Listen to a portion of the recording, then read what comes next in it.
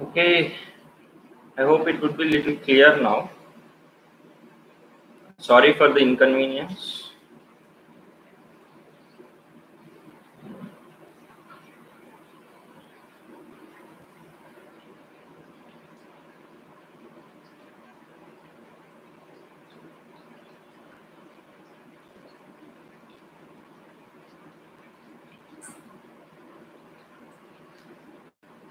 Okay. Sorry for the inconvenience. I just uh, wanted to make sure that there should not be noise, but uh, the work is going on. And it, now it would be little better. Okay. So let's move on. Uh, let's move on to the each uh, division within this plant kingdom.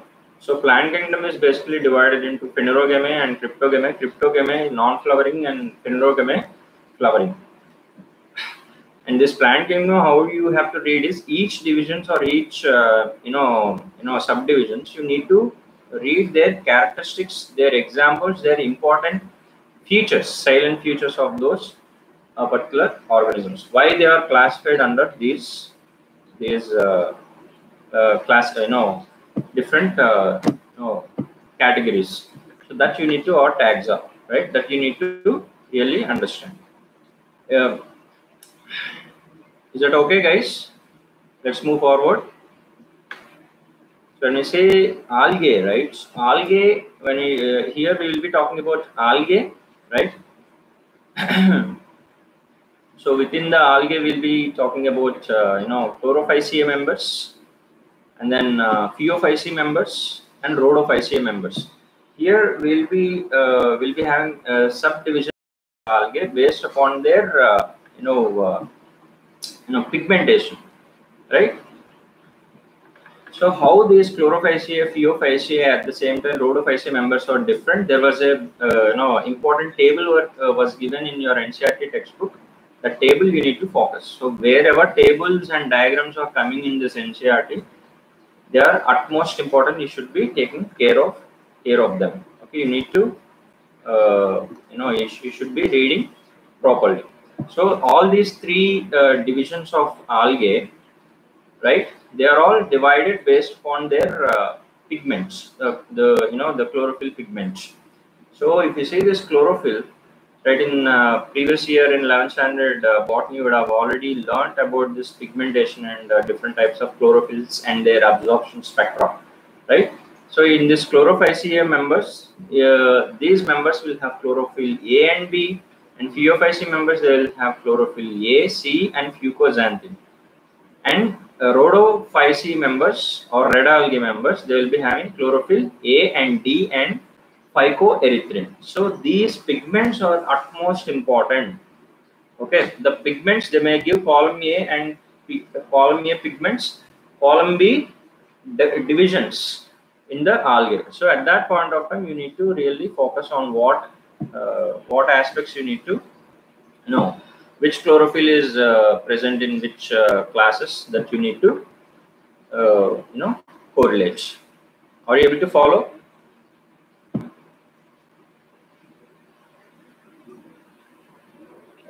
Are you able to follow guys? So this is a major uh, you know you know subdivisions of uh, algae and you see the characteristics of algae you would have you know each class subclasses that are uh, members chlorophyceae members phaeophyceae members their members their cellular organization whether they are multicellular or unicellular organization and uh, at the same time what are the food reserves in these three classes at the same time? For example if you see these uh, major characteristics you'll be finding uh, members are commonly called as green algae and they will have chlorophyll a and b right? And the food reserved, uh, the reserved food materials, like or the food materials are reserved in what form? So if you see here, it is in starch, starch form in the chlorophyceae members, and they will have cell, wall which is made up of cellulose, right? So you need to know these aspects so you can really differentiate between these three classes or divisions within the algae. So those are the things you need to focus in this plant table. Great.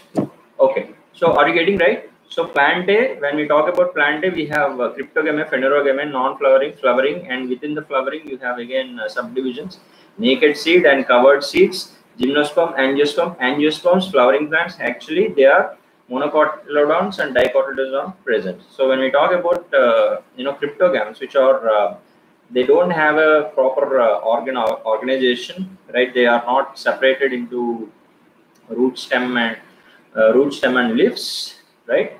So they are non-flowering, and again they have uh, they are they are divided into you know they have uh, this uh, you know they are called as thallophytes, and they are again divided into algae, bryophyta, and pteridophyta. So these are all lower plants. Pteridophyta, bryophyta is something which is which has this amphibious character. It means it can live both water and as well as uh, you know moist, high moist conditions are, and as well as land conditions, right? So these algae or non-embryophytes lack seeds and vascular tissue. So they are uh, simply mosses you will be finding. So they are all uh, non-embryo embryophytes, lack seeds and vascular tissue. But when it comes to bryophyta, these are embryophytes but without vascular tissues. Okay, but without vascular tissues. When you see pteridophyta, pteridophyta members are these are embryo embryo bearing plants which form seed and contain vascular tissue.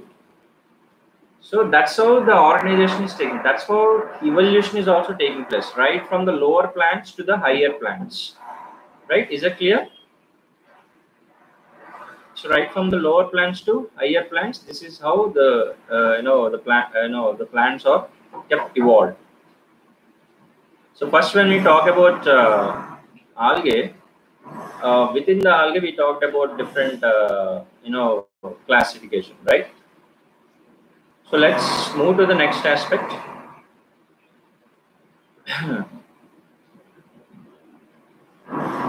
Bryophytes, right? So, so far what we talked about is subdivisions in the algae or classes. When we talk about bryophytes, right? Bryophyta members, when you see these bryophyte members, so what exactly they actually, you know, why they are called bryophytes and what makes them bryophytes and what are the different examples of bryophytes and how they reproduce, right? What are the reproduce, repro, repro, uh, uh, reproduction structures also you need to focus, okay? So within this bryophytes, we have liver, uh, liverworts and mosses, right?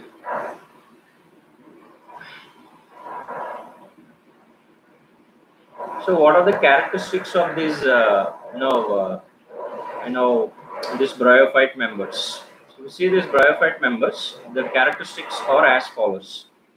So, they are actually simplest as well as primitive group of land plants. They are very simple, right? They don't have a, you know, much complex root system, etc. So, they will be having. They are primitive group of land plants right? They are also known as amphibians of plant kingdom. It means amphibians of plant kingdom. It means they live both in a moisture and uh, water condition as well as land condition, right?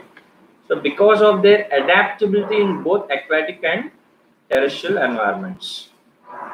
So that's what they are connecting links between algae and pteridophyta. So these are the uh, important terms you need to remember. So which are the connecting links between algae and pteridophyta within the plant kingdom. So you need to, right, uh, you need to pick the option bryophyta, right? And they are autotrophic and they don't possess seed, uh, they are non-seeded cryptogamic plants, right?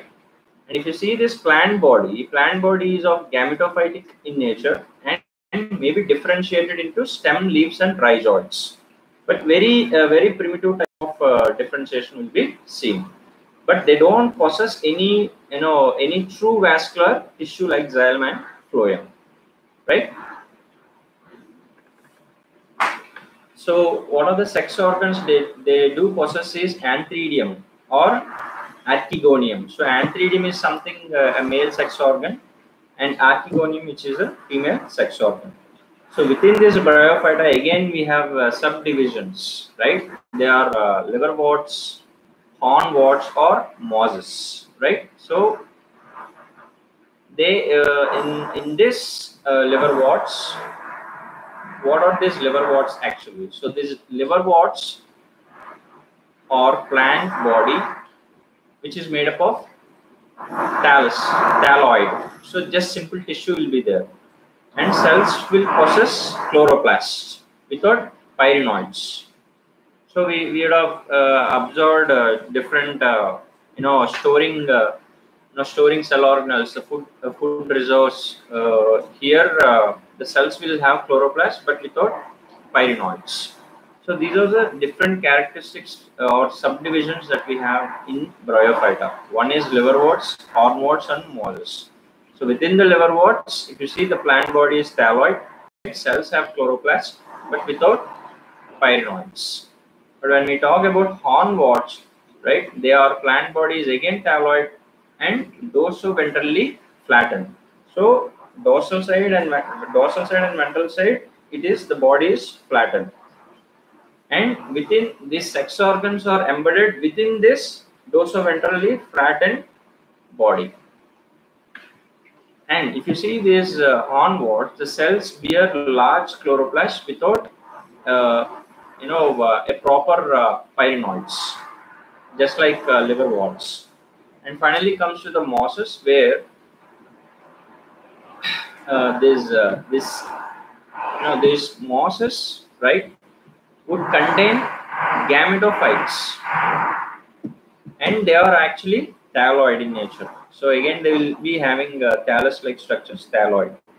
So what I'm discussing is that within this, uh, you know, uh, uh, bryophyta, what are the subdivisions or classes we have, right? These subdivisions or classes we have is liverworts, hornworts, and mosses. So I'm I'm trying to put the important characteristics that you need to uh, focus on, and each subclasses or each classes or subdivisions you need to uh, you know uh, these characteristics you need to focus at the same time. Examples of these liverworts hornworts and mollusks also you need to be focusing right?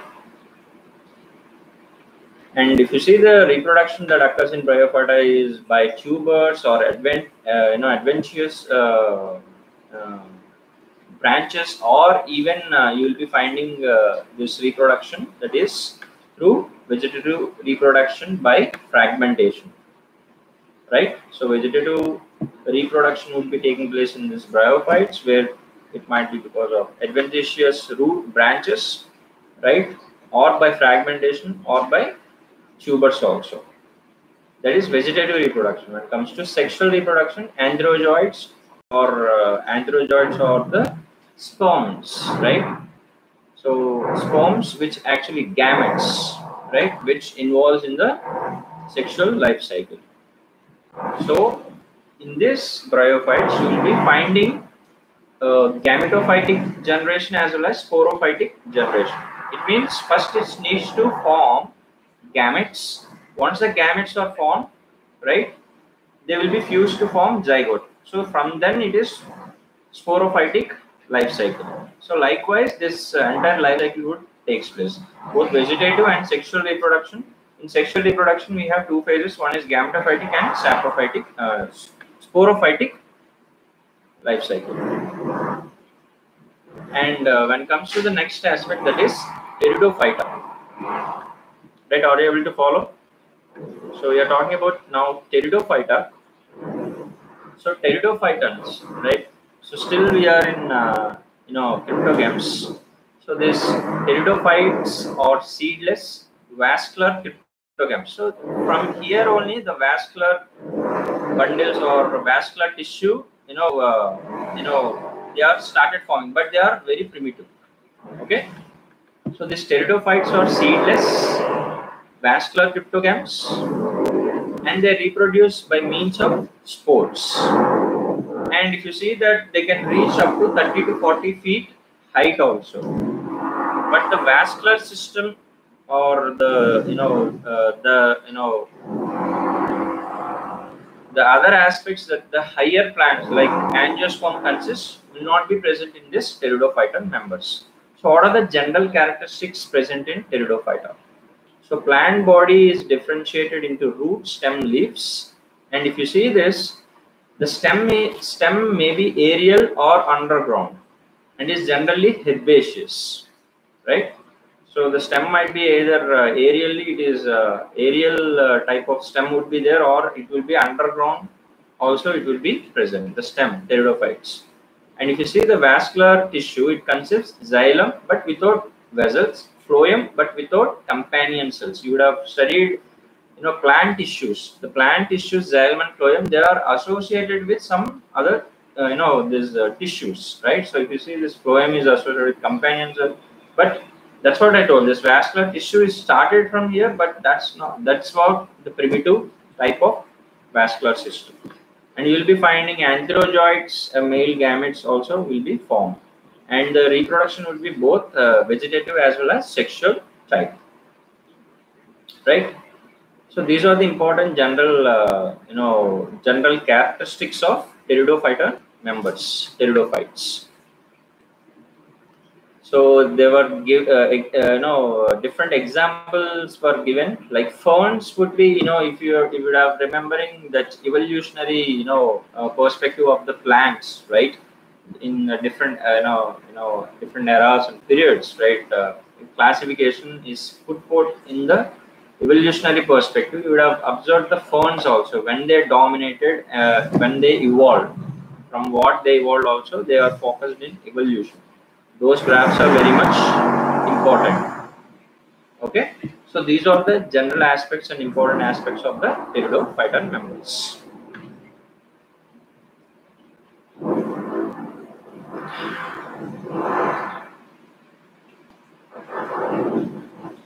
Okay.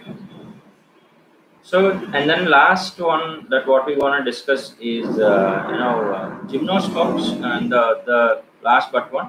So, what are the gymnosperms? What are the characteristics of gymnosperms? And then, then we will be talking about angiosperms and their life cycles, right? That is alternate, uh, you know, uh, uh, life cycles of alternation of generations, right? Alternation of generations that we can actually focus. So let's talk about so so let's talk about uh, uh, you know uh, this gymnosperms. So gymnosperms or what are the what type of organisms will be placed in this gymnosperms? So in this gymnosperms we'll be placing like plants which form the naked seeds, right? These plants are uh, they form naked seeds, right? And which are evolved earlier than flowering plants. So if you take the flowering plants angiosperms, before flowering plants itself, this gymnospermia or gymnosperms are actually evolved, right? And if you see this where when exactly this gymnospermia or gymnosperms are evolved is during Jurassic period, right? So we have that's what I told. Animal, animal kingdom and plant kingdom, and evolutionary tree, evolutionary tree of this animal king, uh, animals and plants. You need to be combining and you should be studying. Then only you will be really uh, able to connect okay so uh, when exactly these gymnosperms are evolved it's during jurassic period so when we talk about general characteristics of these gymnosperm members. Mostly of they are uh, sporophytic and they can differentiate it into roots stem and leaves right? And then uh, they they have the root system is well developed and they they possess like uh, tap root system also right and they have some uh, certain symbiotic associations relationships like mycorrhizal associations as well. The gymnosperms right? And if you see these gymnosperms you would have been observed uh, different sites cycad uh, you know uh, you know cycad plants right? Cycas plants right? If you see the cycas plants right you will be having different types of uh, leafy structures right a few leaves would be foliage type of leaves and few leaves would be scaly leaves So foliage leaves are green, simple, needle shaped. So they will be like needle shaped, right? And then scaly leaves are minute and uh, they'll be minute. So if you if you would have observed any cycas plants, right, you would have got that uh, you know this type of uh, uh, you know leafy structures, uh, different structures of the leaf, right? So you have pinus, you have uh, different example. If you take pinus or cycas, right, the coconut, you know, uh, uh, species, right? So you will be finding this type of uh, arrangement of the leaves.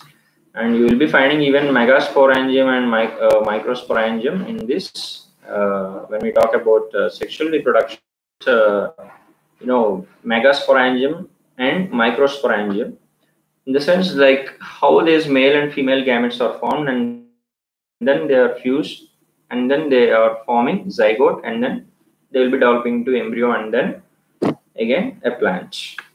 So likewise, uh, here uh, we have to focus on the life cycles of the cycas and pinus as well. So more or less they will be similar when it comes to the uh, this uh, you know representation of life cycles. So it means the gametogenesis will, should occur first and then fusion and then meiosis and then uh, meiosis and then fusion and then they form embryos, right?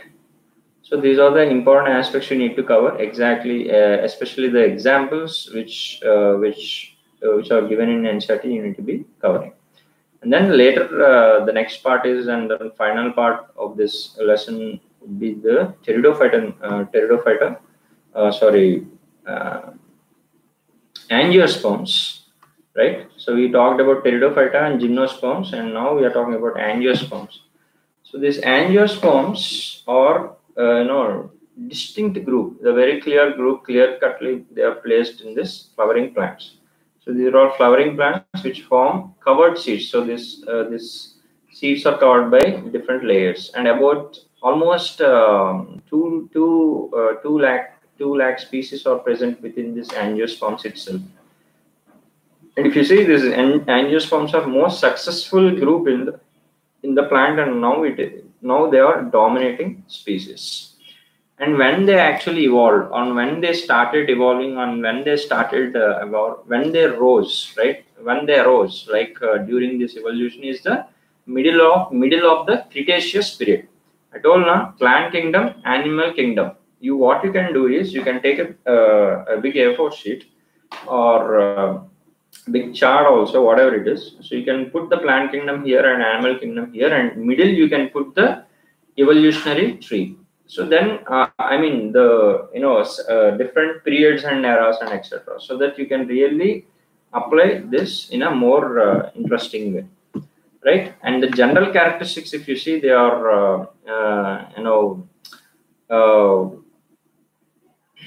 uh, the pollen grains and ovules develop in their flowers and the seeds are formed within the fruits as well. So that's what now these are flowering plants. Eventually the flower will form into fruit etc and nutritionally they are mostly autotrophic right? But there are some uh, parasitic uh, angiosperms are there which are cuscuta right? Cuscuta would have been studied uh, you know in association parasitic association organisms and population and even botany also. So cuscuta at the same time uh, you have uh, insectivorous plants also utricularia insectivorous plants. And when we talk about the lifetime or life cycles they have they display annual biennial perennial type of the you know type of uh, uh, what do you say uh, life cycles as well.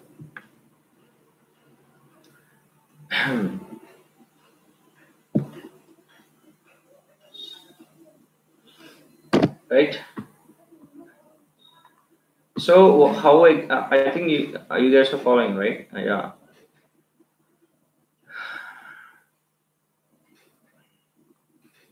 So in this uh, angiosperms, you will be finding this alternate alternation of uh, generations, right? So if you see this, you will be finding gametophytic generation as well as sporophytic generation. So sporophytic generation would form these microspore mother cells or megaspore mother cells. I mean, this megasporangium and microsporangium would form this microspore mother cells and uh, megaspore mother cells, and eventually they would be transferred and they will be fused, right? So when they fuse, they form zygote and then egg, eventually embryo, and then sporophyte. So they will be displaying this uh, two generation. One is gametophytic generation, where you will find the development as well as fusion of gametes, and then it leads to the formation of embryo and then whole plant. So that is sporophytic generation. So this type of cycles and generations have to be focused, and because they may directly give this diagram and they may uh, remove some parts and they may ask you to identify which one is that. Okay. So, and then we will be talking about the last aspect of this uh, lesson that is, uh, you know, plants, plant life cycles and alternation of generations. So we have different types of, uh, when we talk about, uh, you know, individuals, uh, they'll show different patterns of the life cycles. What are the different patterns? One pattern is uh, haplontic, another, another pattern is diplontic, another one is haplodiplontic so what makes this haplontic? Where in haplontic you will be finding only you know the what do you say?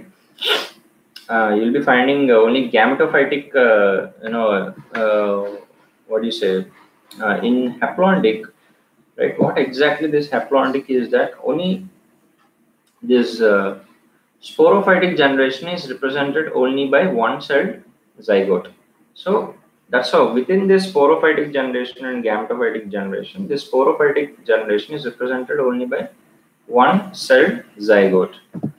So therefore, there is no free living sporophytes. So uh, these these these sporophytes eventually undergo meiosis to form again haploids, right? So this haploid spores would divide mitotically and forms gametophytes. So likewise, what happens is this uh, the dominant photosynthetic phase in such plants is is the free living gametophyte so within this uh, sporophyte and gametophyte only one uh, one uh, one of the type or one of the uh, life cycle is actually dominating. What life cycle is dominating is haploid life cycle is dominating haploid. That's why this kind of life cycle we call it as haplontic right? For example, if you see Volvox or uh, Chlamydomonas, uh, species of Chlamydomonas presents this pattern.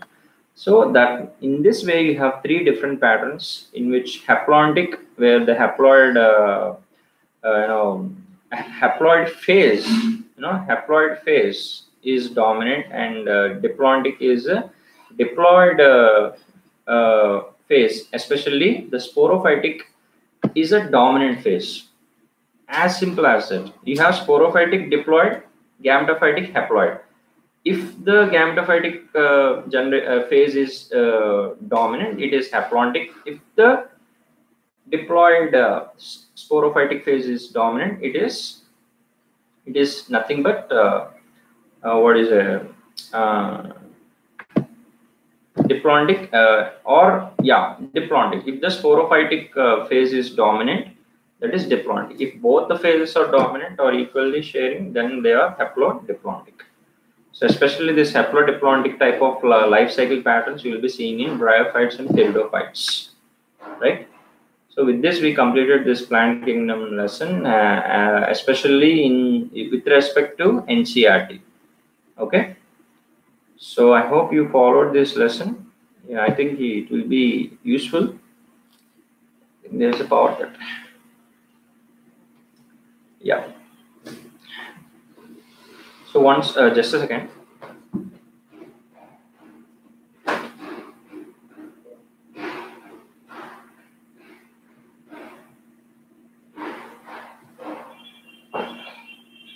Yeah.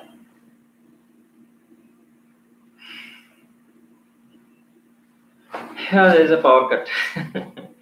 Fine. So with this uh, we completed this uh, you know lesson plant kingdom so how do we approach? We need to know the general characteristics and important features and their uh, you know habitat and their examples reproductive structures gametes their names and terminology and processes also important. This is how we have to uh, learn this plant kingdom. So this is a quick outline. So so i didn't go in depth but uh, this lesson is already completed in your 11th standard. So you please go through whether you are a board uh, whatever board is whether matric or cbsc the uh, the concepts would remain the same if you talk about these life cycles, haplontic, diplontic, and haplodiplontic. So simple strategy that is which phase is dominant.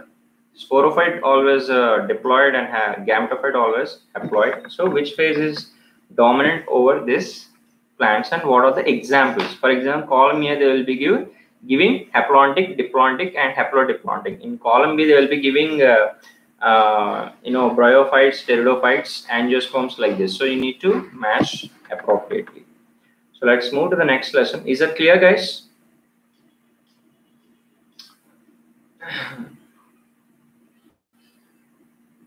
Is it clear? So next lesson we will be talking about uh, you know chapter 16, right?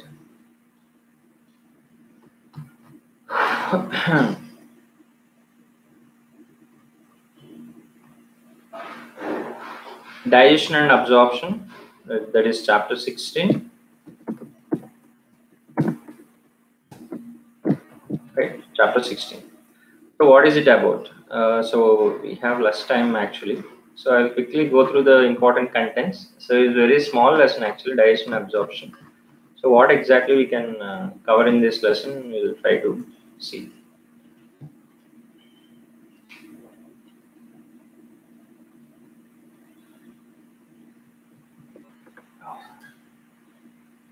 So in in this uh, digestion absorption, uh, you know the uh, if you see this diagrams, especially this uh, transverse section of the gut is important, where uh, you have got outer to inner, inner to outer layers. You need to remember. So inner lumen is there, and then you have mucosa, submucosa, and then you have muscularis and serosa from inside to outside and outside to inside. So these are the important aspects. So i'll quickly cover what are the important aspects that you need to cover in this lesson. So especially the you know the layers present within this uh, alimentary canal or gut the cross section which were given in your NCERT textbook. So right from the outer layer that is serosa to inner uh, lumen you need to know this entire order also. And each layer has got its functions and uh, different uh, enzymes are associated with it and those things you need to much focus on. And if you see this uh, sphincters are important. Uh, we have got uh, esophageal uh, sphincter we have got uh, i know we have got uh, sphincter at the geo no you know different sphincters which actually prevents the back backflow of this you know digestive juices right? So those sphincters you need to remember right? So esophageal sphincter and at the sphincter at the duodenum you need to remember those aspects. Right. Uh, yeah. So what are the other uh, important aspects is that cross section of intestinal mucosa where they show these uh, microvilli and uh, uh, lacteal cells, right? So those aspects, the functions of this villi villi or villi at the same time this lacteals uh, what is the function of this lacteals how they absorb uh, this uh, oil components right? At the same time uh, what are the different uh, you know glands that are associated with this mucosal membranes that also very much important? So these are the uh, important aspects that you need to cover when it comes to anatomical aspects. So this entire animal physiology or plant, uh, especially animal physiology, we can subdivide it into two aspects. One is anatomical aspects, structural aspects, and then functional aspects. For example, if I have to talk about Gobi, right, I have to talk about Gobi Chitpal, I should talk about the streets, what are the different temples we have and different shops we have. Later, we will be talking about what kind of functionality they have. So first we need to identify the map, root map of these organs and organ systems right? When we talk about one one organ system, digestive system, first we need to know the root map of it, right? So it means its structure. in structural components and then later we'll be talking about functional aspects. So structural aspects, the anatomy or the cross section of the uh, alimentary canal at the same time uh, this microvilli, microvilli as well as uh, you'll be uh, you'll be dental formulas also important. So dental formulas across different animals also you need to focus. Right?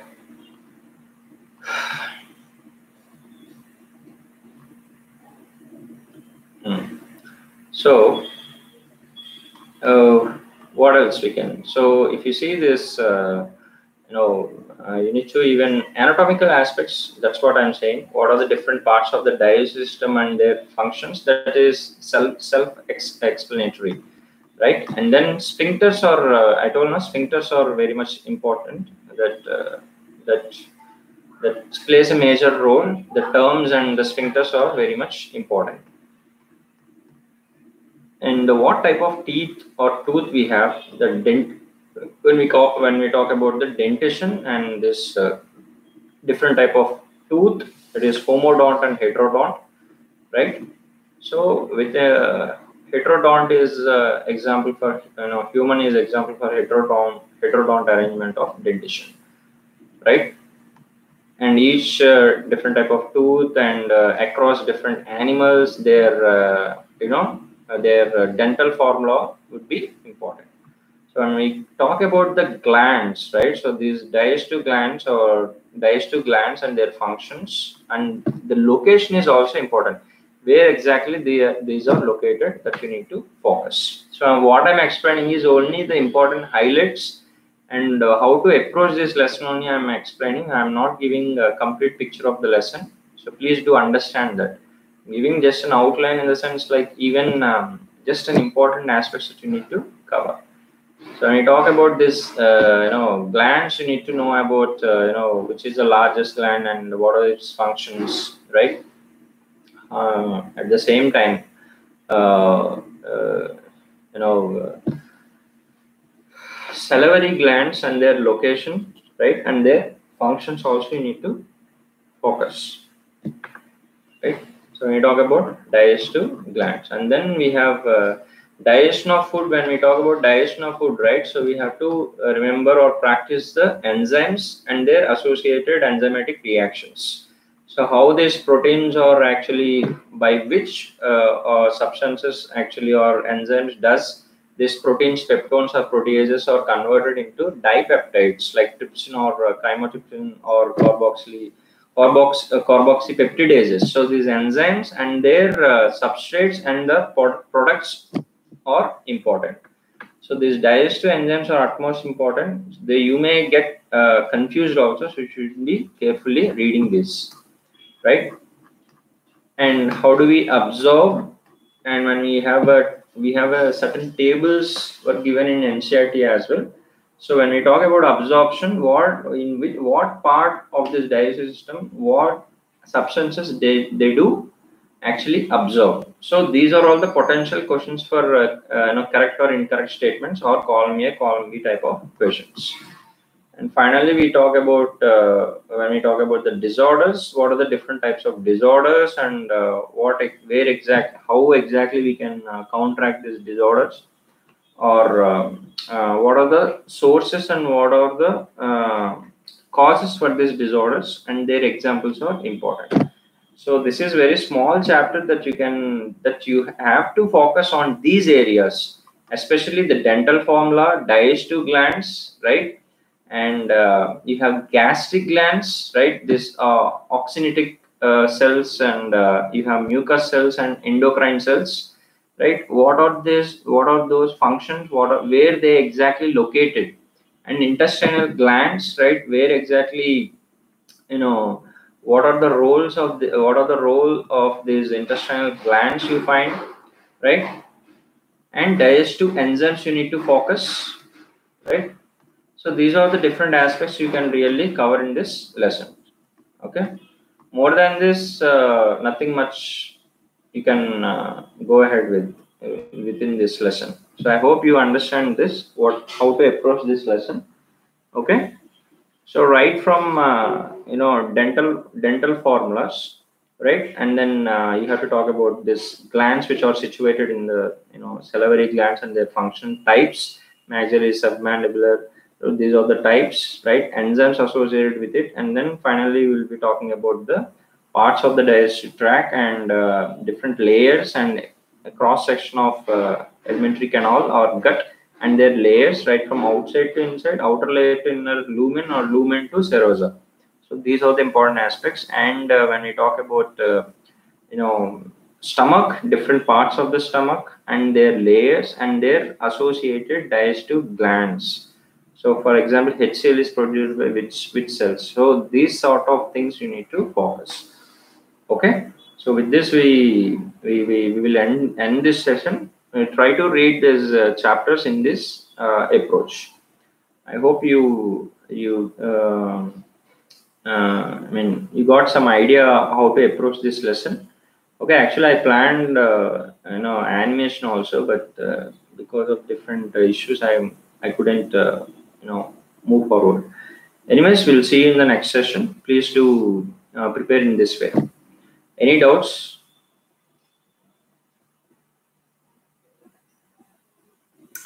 No, right? So let's end the end this session and please do uh, prepare well for the uh, prepare well for uh, these chapters. Thank you.